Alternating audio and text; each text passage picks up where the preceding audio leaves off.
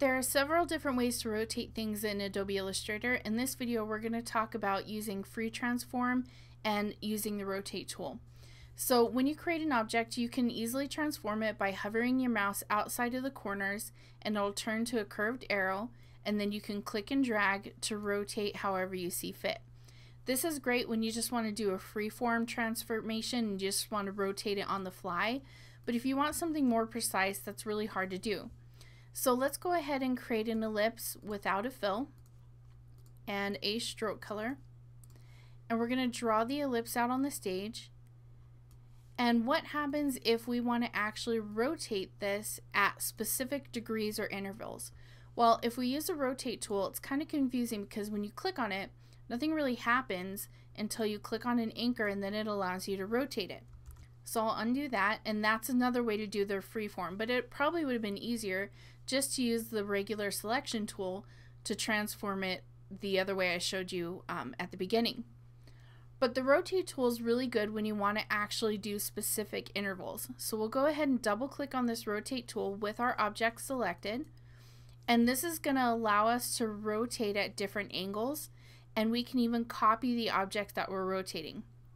So let's go ahead and change our rotation to about, let's do 10 let's hit the preview button. And if you don't hit the preview button, it's not going to look like anything's going to happen.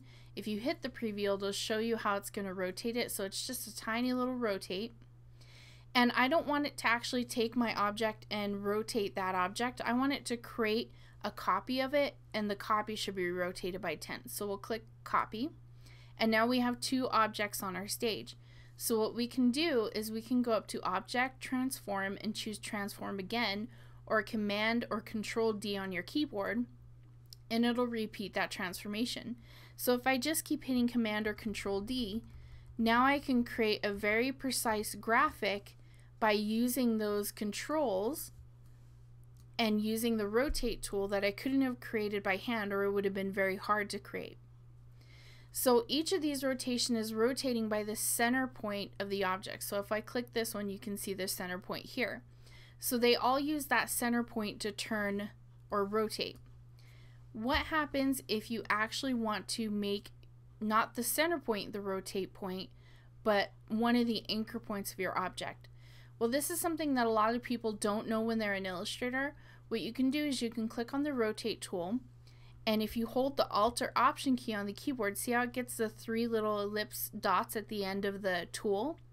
If you click on one of the anchors, it'll essentially say it's going to rotate from that point. So now I can change my angle to let's say 15, preview what's going to happen with that rotation, and again, you can see it's rotating from this point. Click copy and now do Command D to create kind of a sunburst graphic.